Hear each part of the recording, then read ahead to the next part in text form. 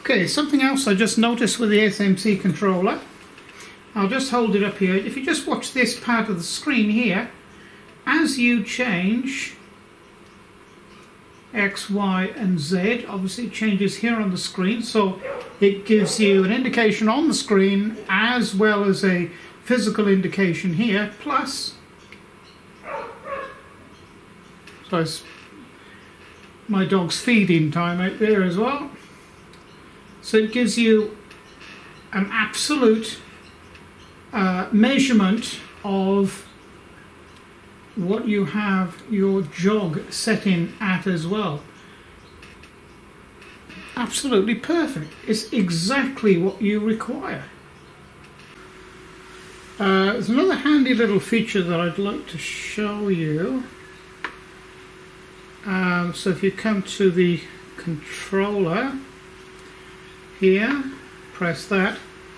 Um, LCD brightness. Now, this is uh, 100 to 400, sorry, 100 to 500. Uh, 500 being the darkest.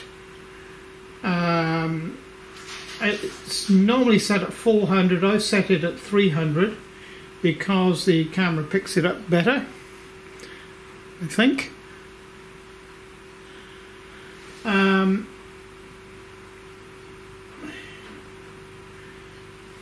actually, we'll just do a check on that while I've got it running. So we'll set that to 400 and press OK. So you can see that the difference between 4 and 300. So I think I prefer 300. Maybe 350, possibly.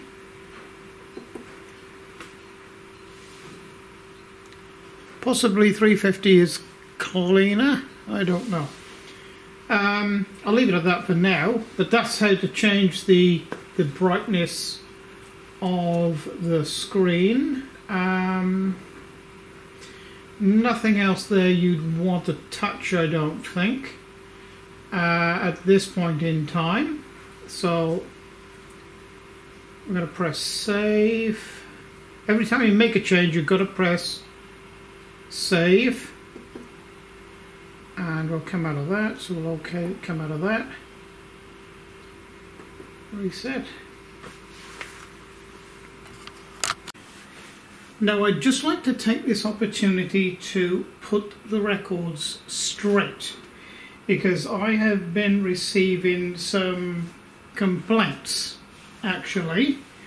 Um, and that is that a lot of you out there in the comments section are asking me where I bought my laser and my large CNC router and other machines that I have?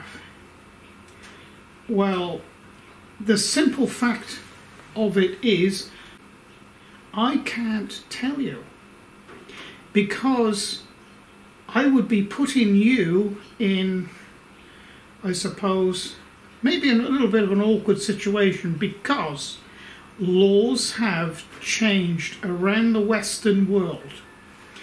And what it means is virtually none of the electrical machinery items such as CNC routers and lasers coming out of China and other countries like that uh, do not meet Western electrical standards.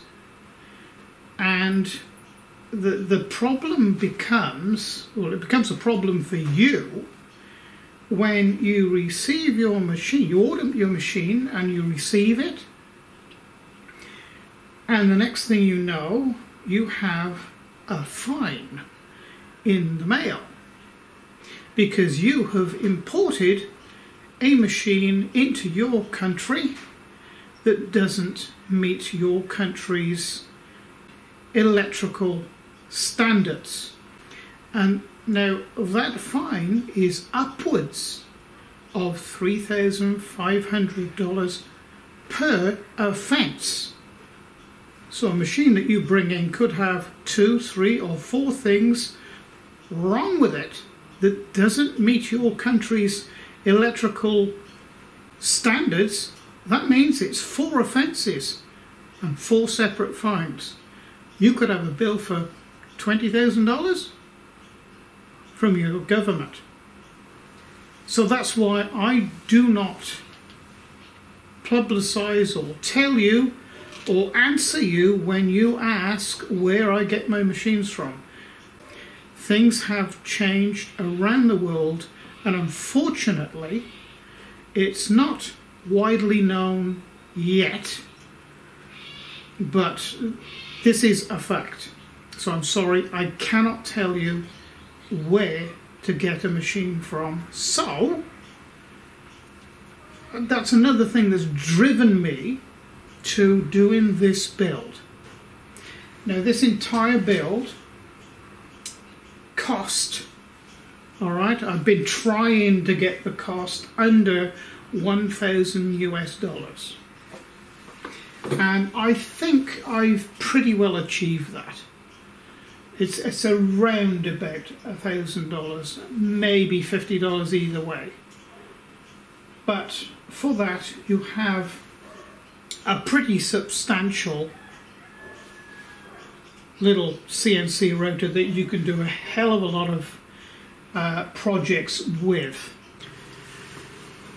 Um, I did have someone the other day ask me how to move an axis uh, a defined amount. Um, I'm going to show you how to do that. Um, so first of all, take the reset off by pressing this button here. Then go into here and select the next box up here. Press so it goes green and just say for example uh, we want one of the axes to move um, should we say 20 20 millimeters. Press and it will go yellow so you can press an axis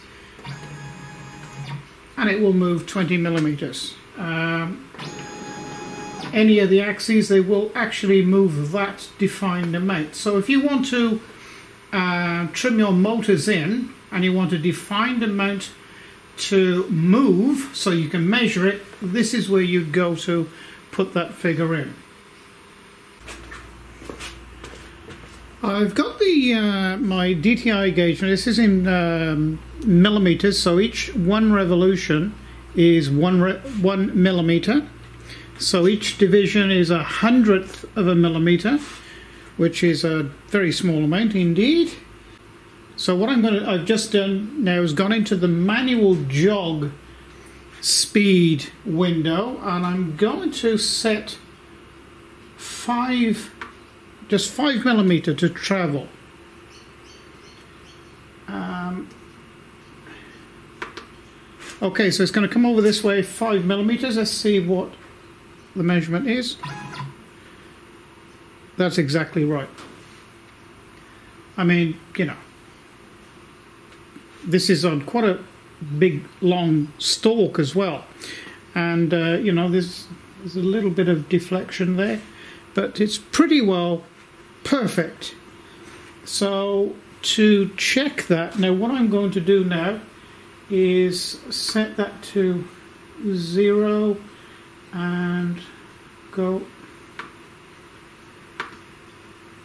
move up to the one millimeter window and I'm going to move it back that way one millimeter per pulse and see if it matches up.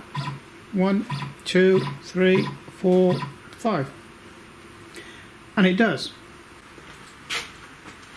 Okay so I know now that that setting in the motor tuning of 400 steps per is exactly right for the, the you know the stepper motors and for these uh, lead screws. Um, and I'm I'm happy with that. You know, it's within within a couple of thou. So it's within a couple of thousandths of an inch, and that's all you can ask for really from uh, you know certainly a home built CNC router. Um, I'm very happy with that. Um, so really now this is set up to operate. Um, so what I've got to do now is I've got to put a bed in here because this this this isn't a permanent bed. Uh, so I've got to make a permanent bed.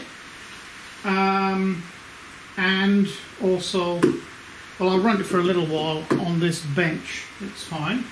But what I want to be able to do, oh, something I wanted to show you guys as well. I'll just quickly show you. Uh, I just want to show you guys uh, something, and you need to, if you have followed this build and the drawings, uh, you just need to be aware of that when this uh, spindle is over on this far side and it's uh, fully down, there should be about a three millimeter clearance here. Okay, now that's the way I've designed it, uh, but you need to check that before you start running it because uh, you, you, know you don't want to go bashing this into the into the side here. So we'll just um, we'll send it to its home.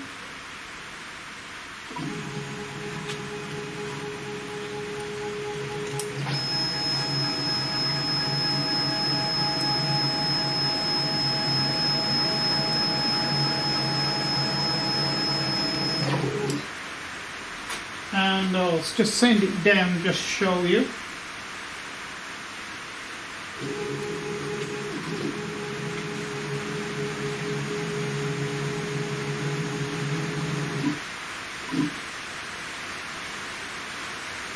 It'll go a little further on that.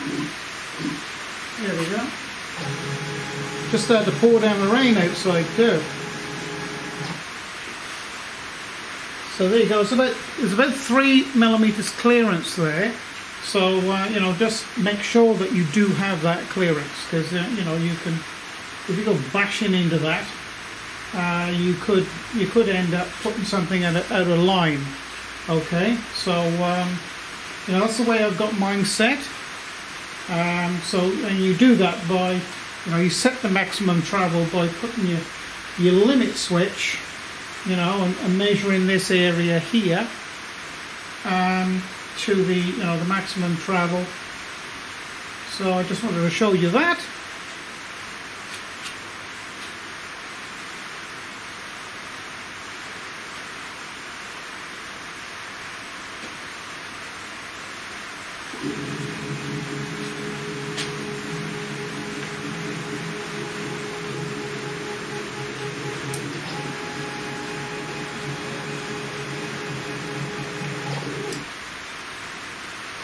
Lovely. I could play with this all day. Uh, something else I wanted to show you as well, and that is the amount of uh, overhang that I've designed into this build. Um, it's approximately, I'll measure exactly now, well, as exact as you can with a rule. I know that this is flush with the end here, so, oh, there you go, 45 millimeter. And the reason that is, is because I am going to have like a two-stage bed. The bed is going to be ordinary here, but I'm also going to have a bed down in that direction so I can clamp uh, boards up against that so I can I can do dovetail joints or you know sort of box tail, uh, or box joints on the end of blanks to make drawers or whatever. So that's the way I've designed that. Um, of course, that will come into operation when I actually build the um, when I build the bench, you know, for it to, to fit onto, and I will incorporate um, some sort of holding mechanism or a second bed in the front of the the bench. So there she is.